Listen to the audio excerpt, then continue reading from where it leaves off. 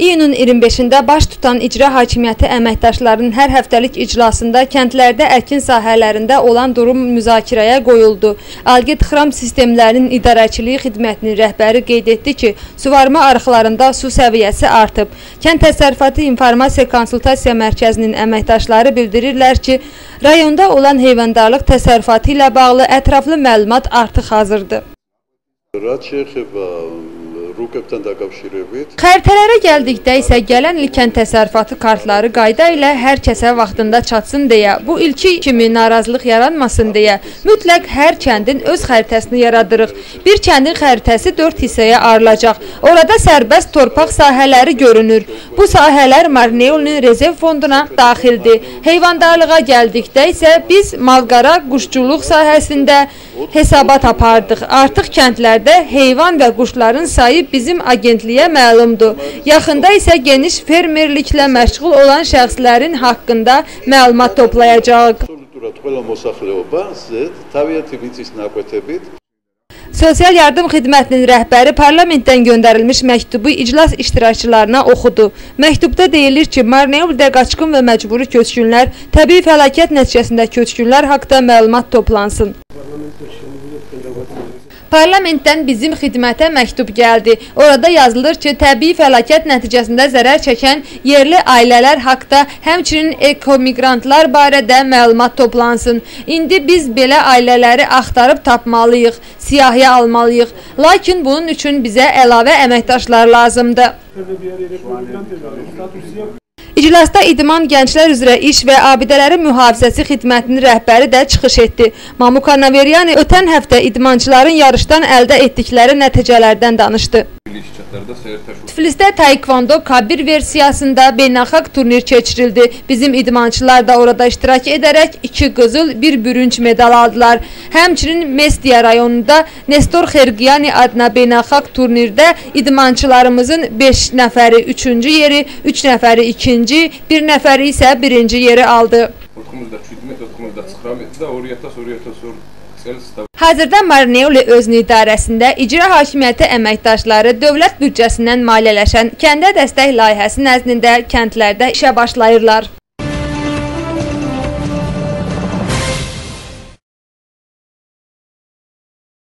Bugün Marneolinin Mülki Məşğulluq Mərkəzinin təşkilatçılığı ilə etniki azlıqlar yönündə dövlət siyasəti, inteqrasiya prosesində mövcud olan problemlər və çətinliklər mövzusunda görüş keçirildi. Görüş iştirakçıları bölgədə olan dövlət dilinin tədrisi proqramları və nəticələri, informasiya qıtlığı, məlumatsızlıq problemi, mərkəzi regional və yerli səviyyədə azlıqların dövlət idarəçiliyinə qoşulması, mədəniyyət məsələləri ilə bağlı dialoqun və vətəndaş fikirlərinin vacibliyi haqqında müzakirələr apardılar etdilər. Görüşün əsas məqsədi dövlət və qeyri-hökumət sektoru tərəfindən bu yöndə görülən işlərin dəyərləndirilməsinə nail olmaqdır. Bugün Marneolinin etnik azlıq nümayəndələri ilə görüşürük. Onlara milli konsepsiyanın tolerantlıq və vətəndaş inteqrasiyası istiqamətində işlərin bu il necə planlaşdırıldığı haqda hesabat vermək istəyirdik. Etnik azlıqların Gürcü cəmiyyətinə tam inteqrasiyasının baş tutması yönündə bizim işlərimiz gedir. Bizim daim Kvemo Kartli, Kaxeti, Samski, Cavaxetiya regionlarına səfərlərimiz olur. Yerli əhali ilə görüşürük və onlardan yerindəcə öyrənirik ki, bizim işlərimizin nəticəsi nədir. Сказочек ödülməyəcəm. Belə görüşlər daim keçirilməlidir. Çünki ictimaiyyətin bir hissəsi etnik azlıqlar oxşar müzakirələrə qoşulmalıdırlar. Layihələrlə bağlı bir o qədər də əhalidə məlumat olmur. Ona görə belə görüşlər maraqlıdır ki, əhali məlumat əldə etsin. Belə görüşlərin keçirilməsi bizim üçün, e, Marneoli gənclər üçün çox əhəmiyyətlidir. Biz istərdik ki, belə görüşlər daha çox-çox olsun, sıx görüşlər istərdik olsun, çünki e, inteqrasiya barədə e, e, daha çox informasiya biz gənclər üçün daha çox əhəmiyyətlidir. E, çox böyük informasiyalar götürdük. Bizim üçün çox maraqlı informasiyalar oldu. Əlbəttə ki, bizim problemlərimiz prioritet oldu burada. Daha çox problemlərimiz barədə məlumat verildi və biz güman edirik ki, bu problemlər yuxarılara bildirilər.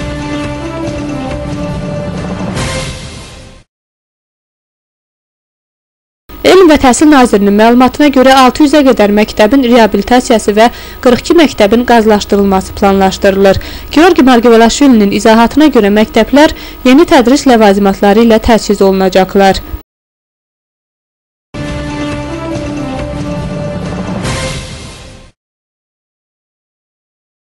Birgə milli imtahanlar iyunun 27-dən iyulun 17-sinə qədər davam edəcək və təqribən 42 min aplikant imtahanda iştirak edəcək. Bu haqda Milli İmtahan Mərkəzinin direktoru bildirib. Maya Miminoşvilinin sözlərinə görə Gürcüstan miqyasında cəmi 18 imtahan mərkəzi çalışacaq.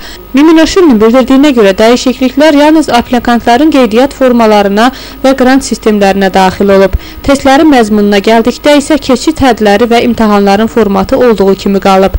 Maya Mimnoşvilinin gümanına görə imtahanların ilk nəticələri avqustun 10-da, son nəticələr isə avqustun 25-də bəlli olacaq.